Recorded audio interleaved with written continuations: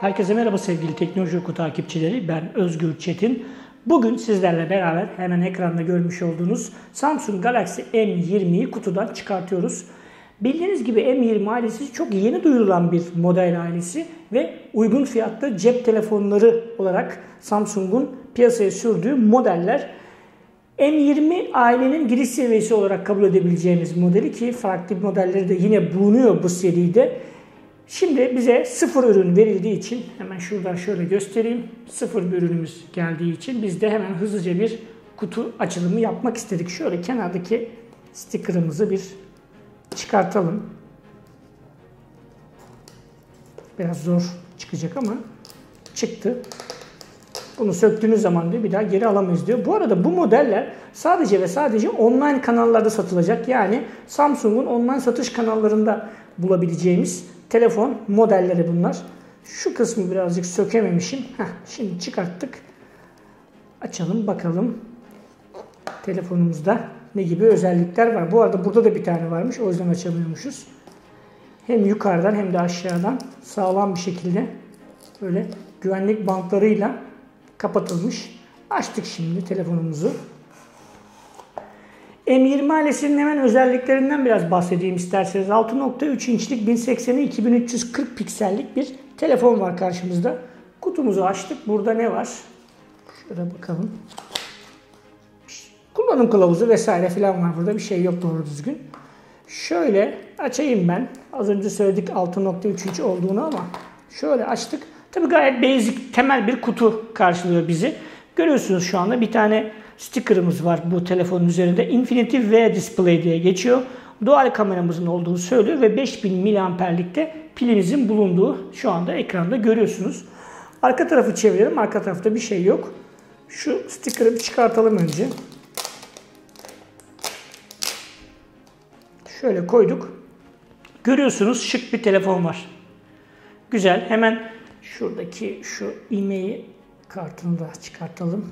Çünkü bazen uyarı geliyor sizden. Bunları şöyle kapatalım arka tarafa. Telefonun özelliklerini anlatalım. Bir taraftan da açmaya çalışayım ben telefonu. Pili varsa eğer tabii.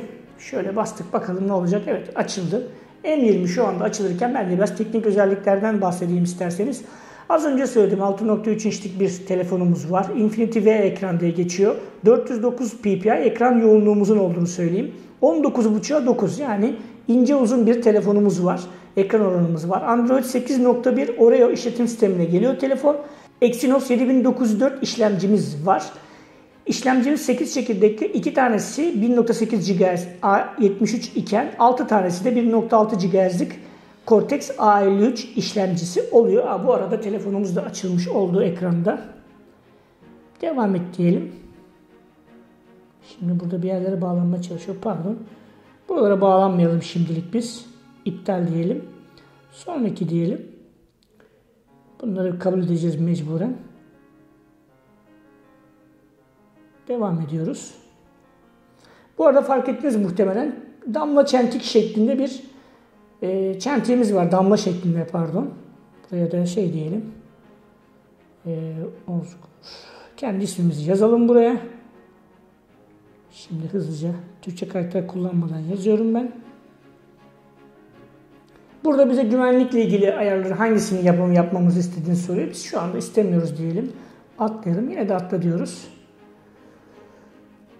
Devam ediyoruz. Kabul ediyoruz her şeyi mecburen ve şu an son kurulumlarımız yapıyor. Bunu geçelim. Geç diyoruz. Son diyoruz ve telefonumuz şu anda birazdan açılacak.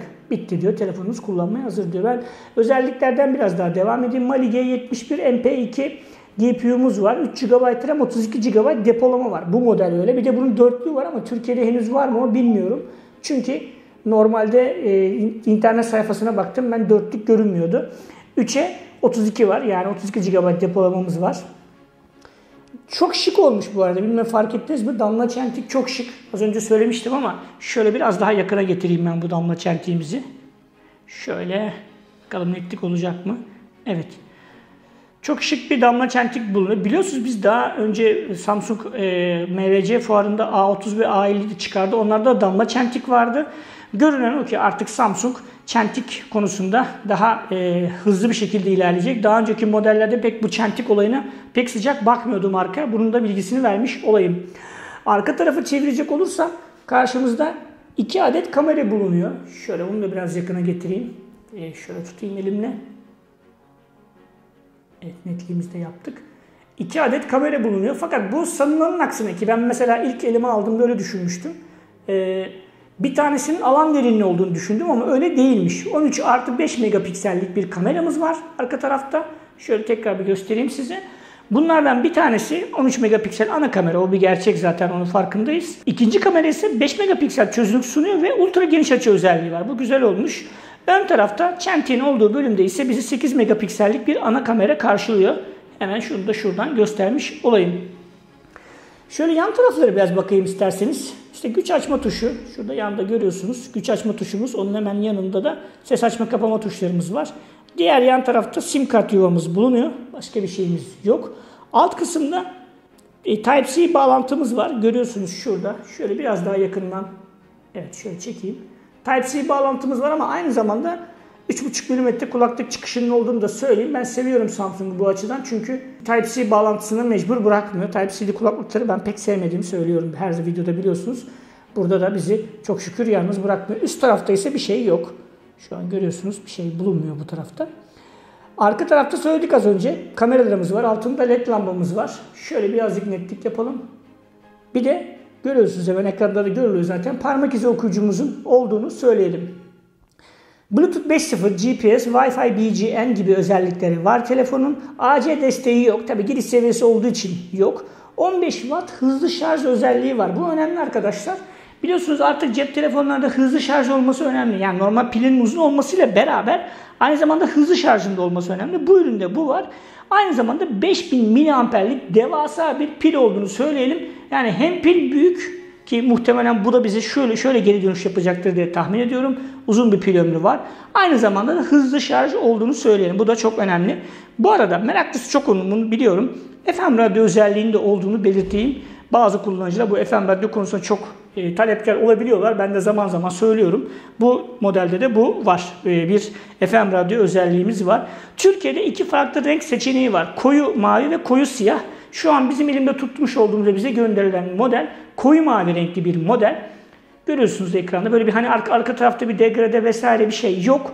Koyu renkli, koyu mavi, düz bir mavi, e, lacivert diyebileceğimiz hatta neredeyse lacivert gibi olabilecek bir renk var. Bir de bunun siyah versiyonu varmış. İsterseniz öyle de satın alabiliyorsunuz. Ee, en azından ben e, Samsung.com.tr'deki bilgiler üzerinde konuşuyorum size. Oradan aldığım bilgileri doğru soruyorum. Gelelim telefonun fiyatına. Hepimizin merak ediyorsunuz. Tamam Özgür Çetin anlattın ama kaç para kardeşim bu telefon diyorsunuz. Bu telefonun bizim bu videoyu çektiğimiz Mart 2019'daki fiyatı 1799 TL. 1799 TL'ye bu telefonu satın alabiliyorsunuz. Biliyorsunuz şu anda en büyük rekabet 2000 TL civarı telefonlarda oluyor. Samsung bugüne kadar bu alanda pek fazla faaliyet göstermiyordu. Hani J serisi falan vardı ama bu kadar ucuz değildi onlar. Bu M model M serisiyle beraber marka özellikle uygun fiyatlı cep telefonları konusunda önemli bir atılım yapmışa benziyor. Ve muhtemelen de e, özellikle Çinlilerin bu pazarda hakim olmasını kırmak için e, bir Samsung markasında güvenilirliği var malum. E, ve bu modelle de piyasaya çıktığınızda siz oldukça da etkili bir şekilde satış yapabileceğinizi tahmin ediyorum ben. Sadece internet sitelerine satılıyor. Az önce belirtmiştim ve çok e, hani fiyat performans anlamında başarılı bir telefon olduğunu söyleyebilirim. Şimdi kameraya biraz bakalım isterseniz. Kamera bakın geniş açıyı gösteriyoruz şu anda ekranda. Geniş açı. Bu da normal açımız. İki mod arasında hızlı geçiş yapabiliyorsunuz. Birazcık şeye benziyor bu bu arada. Samsung'un standart arayüzüne benziyor. İşte otomatik modumuz var. Canlı odak var. Alan derinliği yani yapıyor burada. İzin verelim bakalım. Canlı odak var. Güzellik modumuz var burada yine. Pro modu da var bu arada. Ve panorama var. Fena değil. Yani ön kameraya biraz bakalım. Şu anda biz tamam diyelim. Evet ön kamerayı çekince tabii biz kendimizi göreceğiz şu anda. Kameramızı görüyorsunuz. Burada canlı odak var sadece. Ve etiketler var. Burada da işte farklı etiketler yapabiliyorsunuz. Hani bu daha önceki modellerde de bulunan işte yüzünüze falan bir şey yapıyor şu anda. Beni görüyorsunuz ekranda. Evet, komik komik şeyler yapabiliyorsunuz burada. E, bu bu şekilde de bu ön kameramızı da bu şekilde kullanabiliyoruz. Samsung Galaxy M20 uygun fiyatlı güzel bir telefon olmuş. Detaylı incelemesi de yakında teknolojioku.com adresinde olacak. Kutu açılım videomuzdan şimdilik bu kadar. Kanalımıza abone olmayı, videolarımızı beğenmeyi ve paylaşmayı unutmayın. Farklı bir videoda, farklı bir çekte karşınızda olmak üzere. Hoşçakalın.